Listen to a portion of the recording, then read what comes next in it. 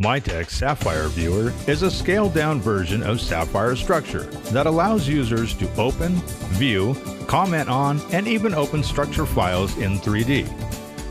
To obtain a copy of Sapphire Viewer, click the Download Viewer link. There is also a link to download Viewer installation instructions. After downloading and installing Sapphire Viewer, open a job using Viewer.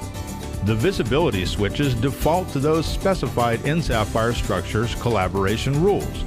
However, these switches can be changed in order to focus on specific parts of the plan. While viewing the job in 3D, the selector tool can be used to verify different products used in the building. The tape measure tool can be used to determine dimensions within the building. The comment feature in Viewer can be used to communicate information back and forth between the component manufacturer and the builder. During the review phase of the project, notes can be added to the comments created by the component manufacturer. In addition to reviewing and commenting on a project, Viewer can be used to print layout sheets. Sapphire Viewer allows component manufacturers to collaborate with customers who do not have Sapphire Structure installed.